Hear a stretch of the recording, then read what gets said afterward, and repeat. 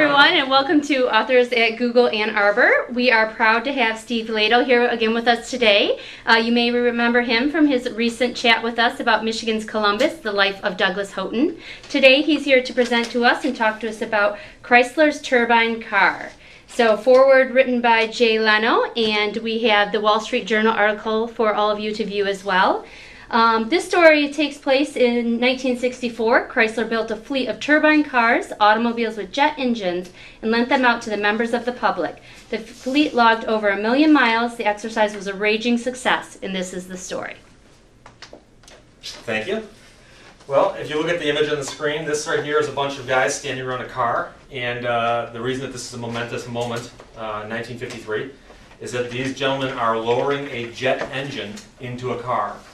And many people who've heard of the turbine car project know that Chrysler and GM and Ford all experimented with jet engines in cars for a period of time. But a lot of people are not aware of the fact that Chrysler actually spent 25 years developing jet engine technology uh, in the automotive field. And they actually got further along than anybody else did. So uh, this is a great occasion, and I'll talk to you some more about some of the people in this photograph. On the far right is a man named George Huebner. He was the head of the turbine car program um, and uh, a very, very uh, flamboyant gentleman. Uh, I only found one photograph of him where he's not wearing an expensive suit, uh, but in this image you'll see that he is. And then uh, standing next to the car with his right hand on the fender of the car, wearing the dark suits, again, Dr. Sam Williams. I'll talk some more about him as well. But like I said, they're just here lowering an engine into a car. This would be 1953.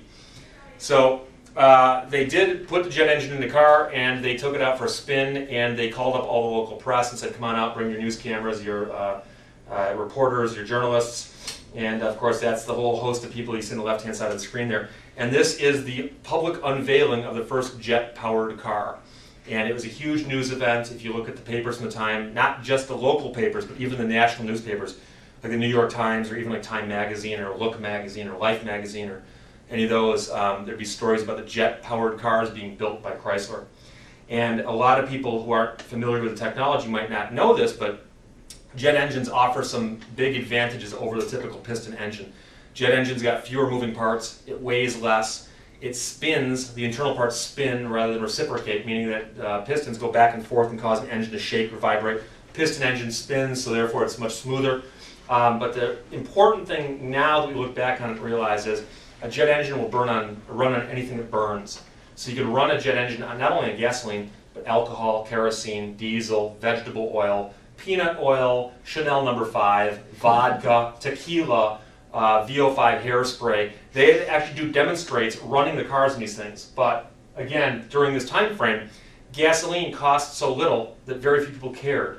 They'd say, well, why do we need a cheaper alternative to gasoline when we've got gasoline? So um, the program gets developed, they start building these cars, and as they're develop, developing them, they're making the engines more and more efficient. Uh, here's another one of the cars that has a turbine engine in it. Many of the early cars uh, were simply other Chrysler products that they had shoehorned a jet engine into. So uh, again, nothing on this car would tell you it's a jet engine, except that it sounded different. So when this car drove by you, it would sound like a low-flying jet. And um, I can tell you it's a driven one, and I'll talk about that in a minute, but that's that's the, the main difference to the average person on the street. This right here is a picture of George Huebner, and like I said, it's the only picture where he's not wearing a jacket. And the reason is, and he's the second man from the right, he was the head of the turbine car program, and he's the one who came to Chrysler and said, I really want to build jet-powered cars here. And he got them to put up the investment, let him hire the, the team. He had his whole turbine department built around this. During the same time, though, Chrysler was actually known as being the engineering company. Of the big three, Chrysler was best known as being the innovators in engineering. They also did stuff with the space program. So the man standing to Huebner's right with the X on his shirt, that's Wernher von Braun. And uh, those of you who remember the Apollo program, Wernher von Braun is a German scientist who came over here after World War II and helped us put a man on the moon.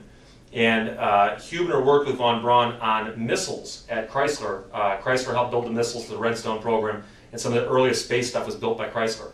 Uh, and in case you're curious, Chrysler also helped build a lot of uh, military stuff. So army tanks, for instance, Chrysler was building. So we don't think of them today in the military sense, nor do we think of them in the rocket sense. But at the time, Chrysler was known cutting edge technology.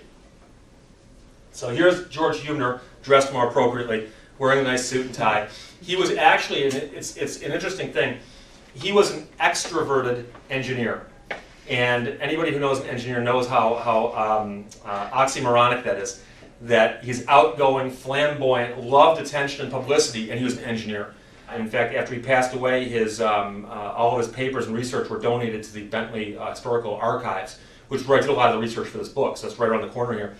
But this is George Huebner, and anytime a camera was around, it seems, he got himself photographed near a turbine-powered car. And so this is a car about 1961 or 62, uh, and that's a jet engine under the hood, and some of the uh, items that go into a jet engine there. And I'll talk about that in just a second. And, oh, yeah, okay. And this is another uh, turbine-powered car that George Huebner is kneeling behind. And this one does say across the deck that it says turbine special.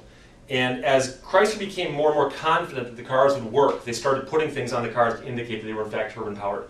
Uh, George here in this picture is demonstrating that the exhaust gases coming out of this car are not dangerous.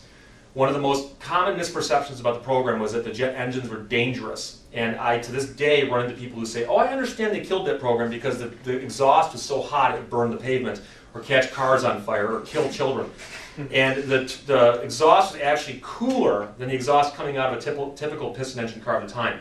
So that's George Huebner holding a handkerchief by the, by the, the exhauster to demonstrate that.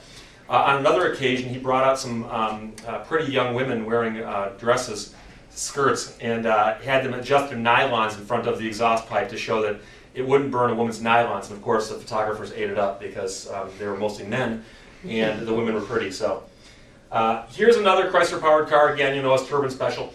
As they got the cars practical, they decided they were going to start doing endurance stuff with them to show how dependable they were.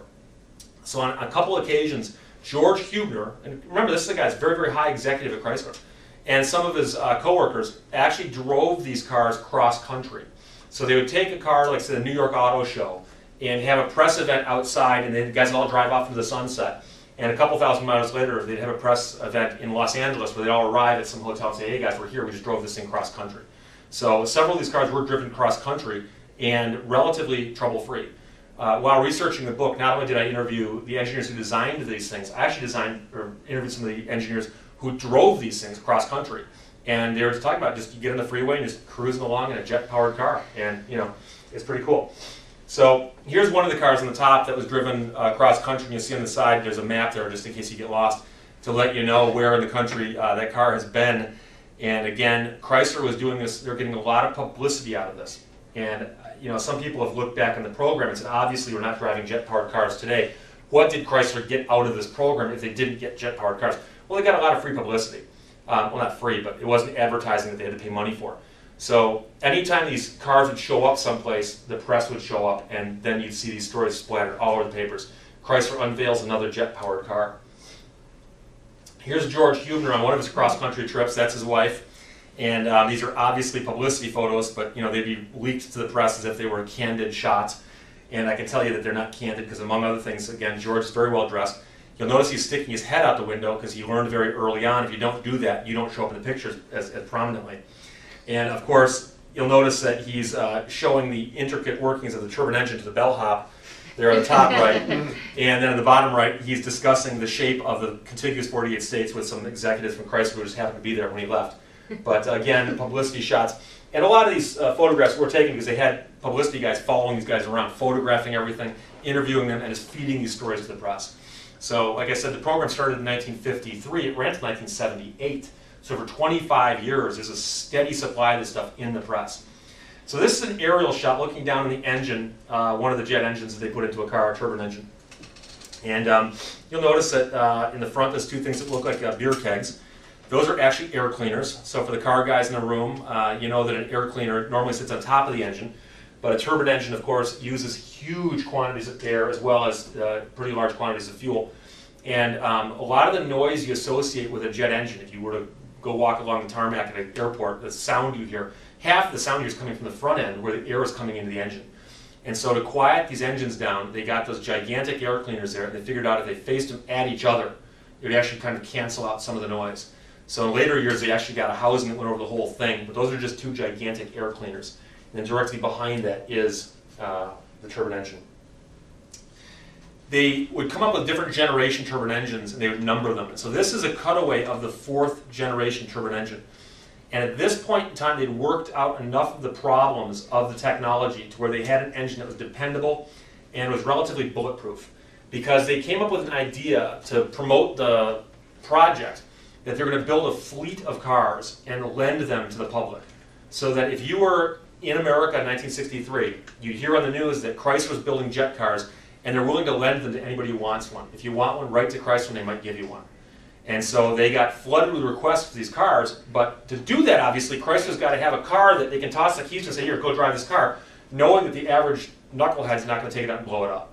Because, as you can imagine, if they were to do that, like, say, Dodge Vipers, and let people drive them, half of them would come back with blown engines, right?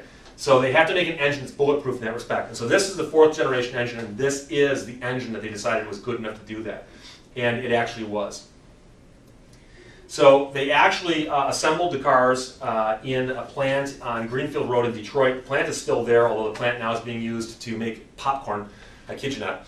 And the cars in the background, I'll show you some better pictures in a second, but the cars were hand built in Italy by a company called Ghia. And some of you car guys know this, that there's a Karmann Ghia car that Volkswagen marketed. Ghia is a builder of, they refer to as coach builders, but they build the bodies of cars. They did a lot of show cars for Chrysler. And the cars in question, we often refer to these as the Ghia turbine car. Built in 1963, they built a fleet of 55 of these cars. The cars were relatively, for the most part, hand built. They had aluminum body panels.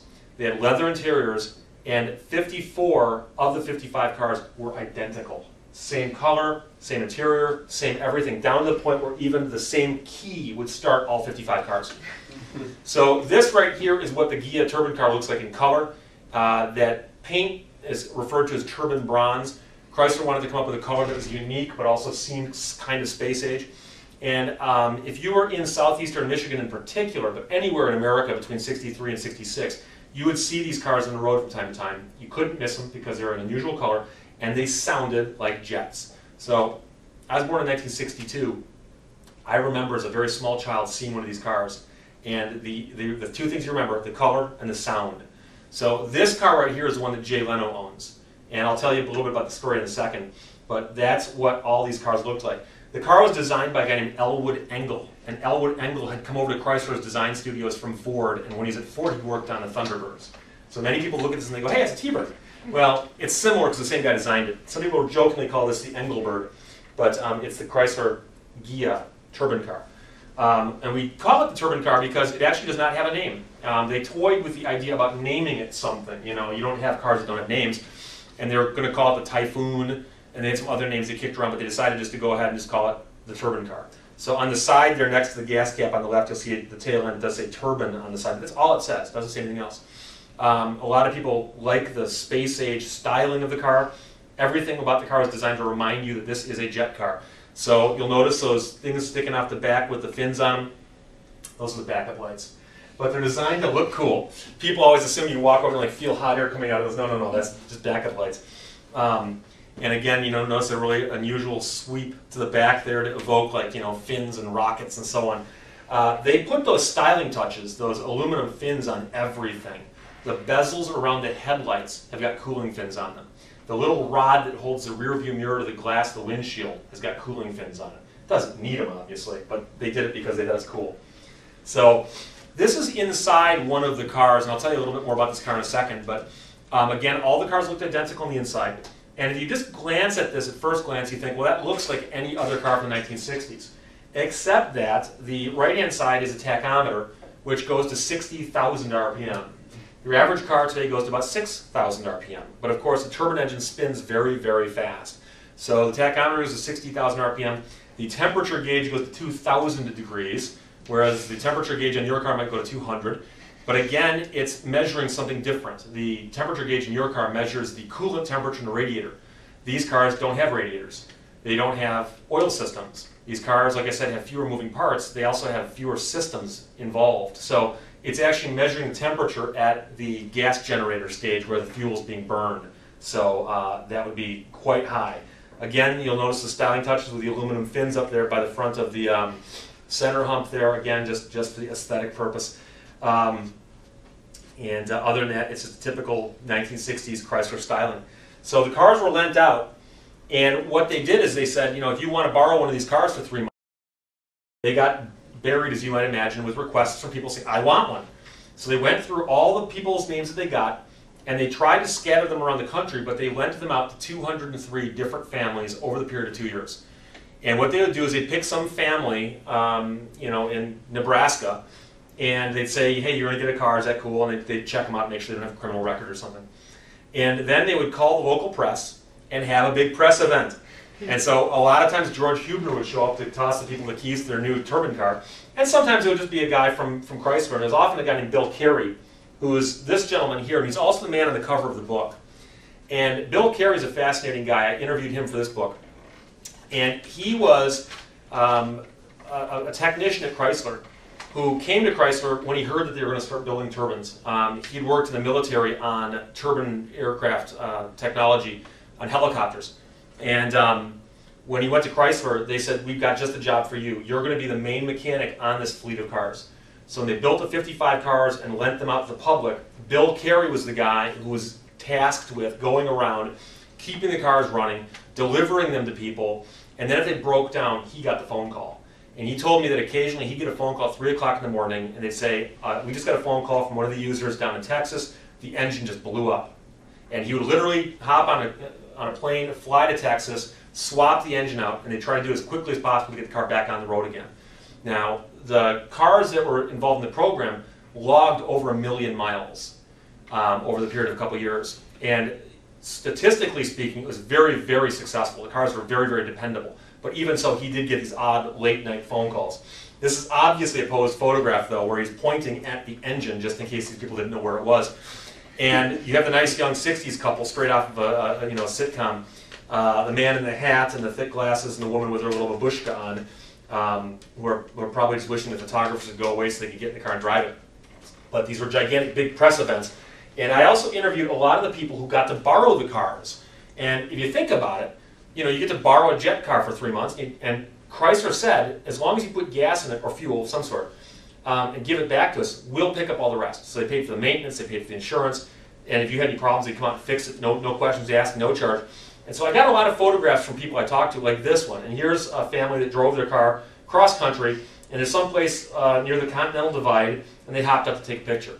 And the amazing thing about the turbine engine, along with the other stuff I told you, is that you could go out on a, on a pitch cold day, as cold as you can make it, and hit the starter, and the car will start instantly.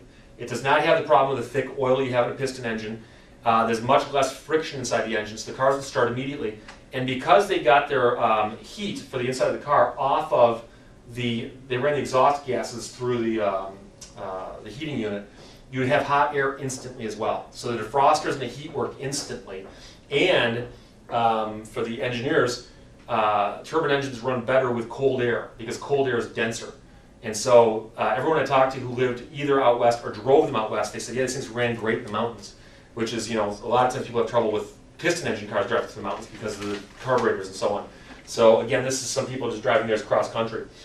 At the end of the program, they rounded the cars up and they were thinking about what to do next. And they considered the idea about mass producing jet-powered cars. They thought these cars were practical enough to do that. The problem is that right at the late 1960s, three things happened. Uh, the problem smog became very, very apparent in America, and people in America started complaining about smog, and we need to do something about smog, especially in California. So the Environmental Protection Agency was formed, and they were given the task of doing something to clean up the air. And the first thing they attacked was automobiles and tailpipe emissions. And the guys at Chrysler spent all their time making the engines run more efficiently and more bulletproof. They hadn't really thought that much about emissions. So they couldn't do anything about the emissions on that short notice. The other problem is that um, the OPEC oil embargo hit in the late 60s, early 70s, where we actually had a gas crisis in America. And um, the federal government again stepped in and announced CAFE standards, which is the uh, corporate average fuel economy standards for all the cars that one car company builds. The turbine cars did not get good gas mileage. It wasn't bad gas mileage, but it wasn't good. And the problem is the CAFE standards that the government announced was simply, you guys have got to come out next year and have your gas standards here, the next year here, and it's you know escalated up. And they hadn't been working on that. So while they were thinking about could we defeat these problems, and there are some engineers at Chrysler thought they could, um, Chrysler went into financial trouble.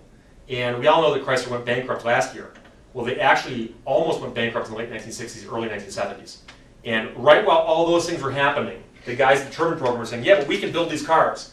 And they couldn't. So this was the car that they were going to put on the road. Um, they actually toyed with the idea about building 500 of these. Now this right here is a Coronet. It's got a turbine engine in it, but it's the only one they built. They built one of these, and this has got the next generation engine past the one I showed you the cutout of. So this right here was what the Chrysler engineers, if you talked to them in 1966, if you'd asked them, could you make a car right now to sell to the public that would blend right in, perform like a, like a regular car, that the average person could drive, it's just as dependable or better. Do you have one? That's it right there. Unfortunately, the three things I just told you about interfered. The other strange thing about the whole program is, as I mentioned at the beginning, that the car is multi-fuel. The car would literally run on anything that burned, and you could mix those fuels. So let's suppose you got a tank full of kerosene, and one day you're driving down the road, and you get low on, low on fuel, and you don't can't find kerosene. Well, you pull into a station and you put diesel into it. You can't find diesel, you can put tequila in it. You can't find tequila, you put Chanel number five in it. It's going to be expensive, but you can do it. And at the time that they first started the program 53, they almost never even mentioned that aspect of it. I mean, I can find you press releases where they go, the turbine engine is better, it's lighter, it's simpler, it weighs less. And they wouldn't even mention the fuel economy, or the, the, the multi-fuel aspect of it. Later on, as they were struggling with the tailpiping standards and the CAFE standards, somebody said, wait a second, this thing will burn non-petroleum based fuels. We could run alcohol that our farmers could make by growing corn or growing you know, grass. Maybe we should emphasize that a little bit. So Chrysler started emphasizing that, but again, this is 1973. And this is a, uh, a Plymouth Satellite. And in front of this, that's a turbine engine in that car there. In front of it is an engine, a fuel stand that's got six different fuels on it. And it's got everything on there from uh, non-leaded gasoline to alcohol to a variety of mixtures and so on. And they do these demonstrations where they actually go up and fire the car up, have it running, and flip, switch, switch, switch, switch, just to show that it would run flawlessly on these different fuels. But again, this is so late in the game that it didn't really have that much of an impact. One of the guys I interviewed for the book was a test driver who drove these things out of the Chelsea Proving Grounds. Mean, he literally put you know, hundreds of hours just driving a turbine car, just big laps in that big oval out there. And uh, he told me that he did a couple laps out there running um, vegetable oil. And he goes, yeah, he goes, it, it smelled like they were baking cookies. you know, but um, you know, imagine what the world would be like if we were all driving cars that made it smell like we were baking cookies. Um, so uh, this is one of those things that I like to point out. Is this is this is sheer irony. One of the ugliest cars ever built in Detroit, and that's got a jet engine in it. Um, that is an Aspen the sister car of the Volare. And um, uh, again, Chrysler was, the engineers were still working on developing the engine, making it better and better and better. The engine in this car was light years ahead of the one that they loaned out to the public. But, like I said, they couldn't make it run clean enough. The, the fuel economy wasn't good enough. And Chrysler was, at this point, really teetering on bankruptcy, so they couldn't do it. And one of the guys I talked to, who was involved in the program intimately, I said, what would it have taken you guys? Let's suppose that Chrysler said, let's pull the trigger, let's make these cars, mass produce them, put them on the road. And he said, we would have had to build whole plants from the ground up because they didn't have the infrastructure to manufacture the internal parts of the jet engine. And he said that would have cost us about a billion dollars in 1970. And they didn't have a billion dollars. So this car uh, in front of the helicopter is the last turbine car Chrysler built. That's 1978. And again, extremely advanced engine in this car, extremely efficient, extremely you know cutting edge. But at this point, they were they knew the program was winding down, and Chrysler pulled the plug in the program in 1978, so that you had 25 years of development of this, and then nothing. So that's the end of the program. At the end of the user program, there were 55 of the Ghia turbine cars out there. Chrysler rounded them up and destroyed 46 of them. And this is very reminiscent of the Who Killed the Electric Car with the EV1. General Motors at the end of the program rounded all the cars up and destroyed them. And I've spoken to the guys in the program, said, why did they do that? And all of the car companies are hesitant to let their prototypes get put out into the world. Because if you think about it, right now when we think of the turbine car program, we think, oh, there's this fleet of cars, they look really cool, they ran really nice. If they let these cars get out to just average people, you're driving your turbine car along and the engine explodes. You and I can't fix it. So either now the car doesn't run, or we rip the engine out, we drop in a V8. Now we have a turbine engined body that's running a piston engine, and it starts diminishing the PR of this car. So they actually sent word out to museums said, if you want one of these cars, you can have it. So they actually got six museums who took them up on the offer. They shipped the cars out and they destroyed all the rest. And I've actually interviewed guys who were there at the wrecking yard in Romulus when they actually crushed and burned these cars. And I had one guy tell me, he goes, because I was crying like a baby. I mean, you know, he worked these cars for years and now they're just destroying them. Um, there were people who wanted to buy the cars. Chrysler was getting letters from people saying, I want to buy one. I don't care what it costs, I'll buy one. And Chrysler was going, we, we can't sell it to prototype. So this car right here is one of the survivors. This photograph was taken in uh, Fort Wayne, Michigan, the fort down by Detroit. And um, they have, at the Detroit Historical Society, so many cars they can't display them all at their museum. And they were one of the people who took them up on the offer to accept one of these cars, but they had no place to put it, so they stuck it in their storage facility inside the bubble here. Um, I got to get in and see it and photograph it because I was trying to track down as many of them as I could. Uh, the Henry Ford Museum's got one. Uh, Chrysler has one at their museum as well, Walter Chrysler Museum up in um, Auburn Hills. There's one at the Smithsonian. There's one at the St. Louis Museum of Transportation. There's one at the Peterson Museum in LA. And then two of them are privately owned, one of which is owned by Jay Leno. That's me to the left of Jay Leno, um, 50 pounds ago. And um, people say, wow, Jay's shorter than I thought. And I said, no, no, I'm taller than you thought. Um, but that's Jay's turbine car. He actually bought that from Chrysler um, about a year ago when he came into town to do those free shows up at the Palace for unemployed people. And um, Chrysler had kept three cars for themselves. The three cars they kept were identical because all the cars were identical. So uh, Jay went over to Chrysler after he did one of the shows. He was talking to some of his friends over there. And he said, you know, you guys have got three of these cars. Do you really need three? And now I wasn't privy to the conversations, but my understanding is that he talked them into selling him one of the three cars. They know he's a car guy. He'll take care of it. He's not going to blow it up and drop a slant six engine into it. He'll take care of it. He'll see to it that it, it, it, it's, it's good.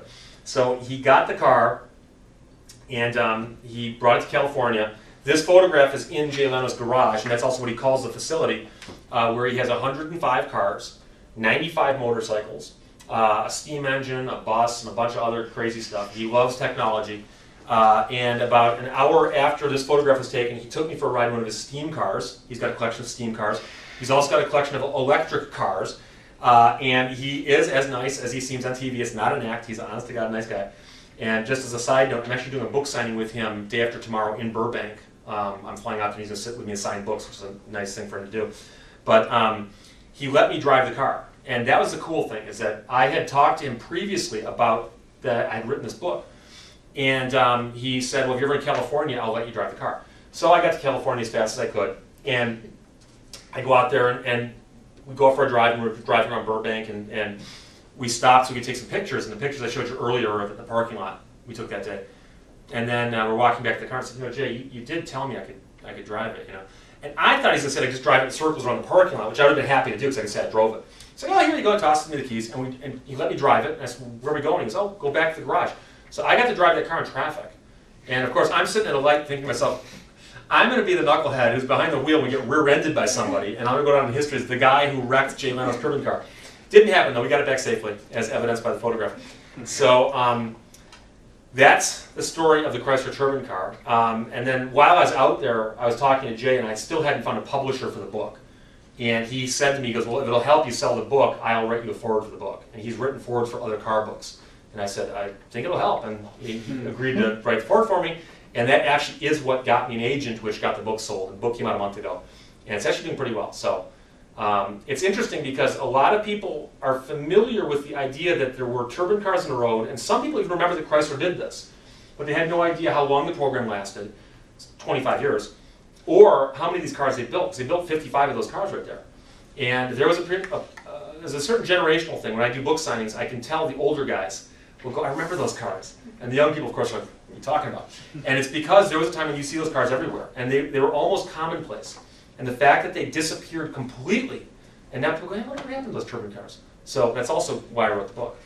So, any questions? Talk to me about um, when you went to see all the families that had driven these. What were kind of the stories that they had? Oh, yeah. No, I had a couple pictures in there of that, but you're right. Um, I actually, Chrysler put out a really nice book at the end of the program. Like, like i am not sure what they did with it, but they put together a, a, a, a synopsis of the program. They said, you know, because they had their PR people go out and interview these people, and, and they, they collated all the data, and, and they actually gave us, I actually have a list of the names occupations and ages of every single person in one of these cars 203 people. Now, remember, this is back in 1964, 63, 65. So I had to go and try to track these people down. So what I actually did is I sorted them by age and started from the youngest and went up. And I actually found something, because think about it, if you're 25 years old that long ago, you had, and next thing you know, a lot of these guys are no longer with us. But I tracked down maybe a dozen of them. And the stories were universally the same. They loved the car. Everywhere they went, it drew a crowd. They'd be, you know, driving to church and people would be waving and following them, and, and you know, like they, they, they drive someplace and people would follow them to get up and talk to them. Uh, people park in front of their house and people, others would come up and knock on the door and say, hey, can I look at your car? Um, Chrysler actually anticipated some of this, and interestingly enough, for 1963, you cannot pop the hood in this car without getting inside of it. You also cannot pop the trunk without getting inside of it, even if you have the keys. Because back then, you know, cars, you walk up underneath the hood, just, just feel them and pop the hood with the thing underneath the hood. They were so worried about looky-loos wanting to come by everywhere you'd go, people, I want to look underneath the hood. So they made it that way because they anticipated it, and sure enough, that's what happened. I actually spoke to some families who said that by the end of the three months, they're almost getting sick of the attention. They loved the car, but they couldn't go someplace without causing a commotion. And so, you know, I, I spoke to one uh, family in particular, and they said that they parked in a driveway, every single day during dinner time, people knocking on the door, hey, can I see your car? Can I see your, can I go for a ride in your car? And sure enough, you, you can't turn that down. So you're giving people rides everywhere, giving rides to people in the car. That one family said they actually stuck it in the garage and closed the door when they wanted peace and quiet, because otherwise they couldn't get any rest. Um, and you know, um, one of the guys I interviewed for the book was 16 at the time that his parents got one of these cars. And Chrysler actually said, you know, hey, we had a problem letting this kid drive the car. I mean, he's in the family, he's got a license. They let him drive the car. So a 16-year-old boy for three months is driving his car to and from school. He's you know, driving around, and you know it's all downhill from that point. You know, I don't care what car you get when you turn 17, you've got to drive a turbine car. You know, and and he told me he said you know it was it was the hugest deal because he was the kid who got to drive a jet car. You know, but again, everywhere you go, it's causing a commotion. One guy told me he said he goes you couldn't make a short trip in it. You couldn't like hop in it, run to the store for a loaf of bread, and come back. It would turn into an hour-long trip because everywhere you go, you know, hey, is that your car? Hey, can I talk about the car? And it got to the point where you, you, you had to do this. Uh, when Chrysler was interviewing people about the program, they would, and I actually have the question sheets they used, they were clearly aiming at trying to find people who were outgoing and would, wouldn't mind that kind of activity. But also they ask you, how often do you drive your car, where do you drive your car, and then where do you park your car when you're at work? And I talked to a guy who's a dentist in California, and he told me that he thinks he got the car because his dentist office is right at a major intersection. And he said, well, I have to park my car in front of my office. And he wasn't sure if it was a good or bad thing. He said the guy called him right back. He's like, yeah, that's a good thing. Because, you know, his, this turbine car is in front of this doctor's office all day long. And it was, you know, getting the image out there.